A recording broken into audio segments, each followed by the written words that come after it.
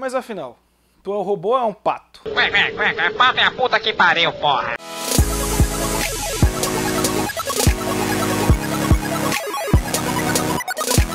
Olá, eu sou o Roberto Segundo e bem-vindos a mais um 2 Bits, o seu programa semanal onde falamos de games, besteiras e qualquer coisa relacionada a isso. No programa de hoje, nós vamos ser um pouquinho hipsters e vamos falar dos jogos indie.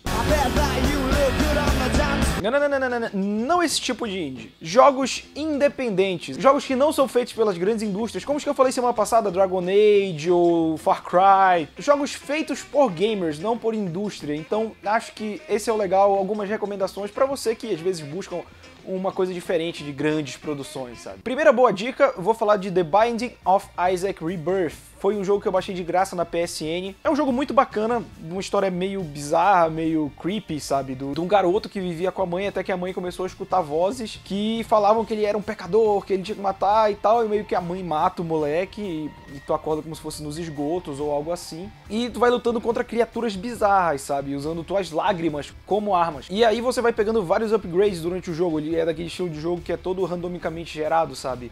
Nunca uma fase vai ser igual a outra. Então, se você tem o fator replay, se você morreu, voltou, você não vai ter aquele negócio de decorar de onde o inimigo sai ou por onde você tem que ir para evitar tal coisa. Ele é novo a cada jogada. E isso é muito bacana. O mais legal dele é esse fator bonitinho, bizarro, porque ele é todo desenhado, sabe? Parece desenho de criança. Só que ele é bem pesado, cara. Ele tem demônios, tem sangue, tem o lance da mãe rejeitar ela. A mãe é o chefão final do jogo.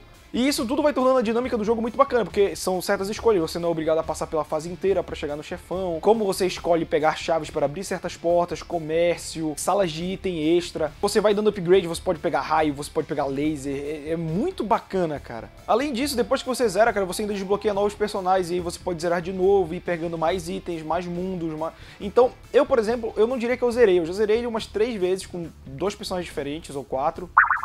Essa matemática não foi certa. O que importa é que o jogo não tá totalmente finalizado, porque cada personagem tem um item diferente, ou tem algo a mais ou a menos que facilita, dificulta a sua vida. Se você quer um jogo que dá pra ficar jogando as horas sem ter que ficar se preocupando com jogo online, você vai conectar com o servidor, você vai, você vai ganhar troféu, simplesmente um jogo bacana, apesar de que ele tem troféu, The Binding of Isaac Rebirth.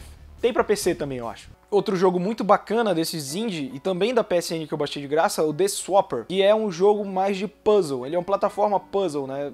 Os jogos indie também investem muito nisso. Você é um astronauta num cenário que lembra muito Dead Space, na questão de um cenário espacial escuro e com que existe algo que aconteceu e você não sabe, com é, pedras contém informações, lembra muito o monolito do Dead Space. E quem acompanha o canal sabe que eu sou fãzaço da série Dead Space, então foi um jogo que me chamou a atenção logo de cara. Ele não tem ação, entendeu? Você fica esperando até, porque ele tem um clima meio de jogo de terror, mas ele é um puzzle, né? Um quebra-cabeça. Você pode gerar cópias de si que elas imitam seu movimento. Então você pode gerar até quatro cópias que vão servir para você pressionar botões, para você ativar chaves, para você ativar partes que você não conseguiria, e aí você pode trocar de corpo com uma das cópias para você a cópia se tornar original, no caso você. Essa dinâmica é muito legal e difícil. Eu tô empacado numa parte do jogo que eu não consigo porque você tem que ativar as quatro cópias ao mesmo tempo e se movimentar minuciosamente, cara. Então se você gosta de espaço, você gosta de terror, você gosta de puzzle, desafio, cara. The Swapper, The Swapper, Swapper, acho que é Swapper, é pra você.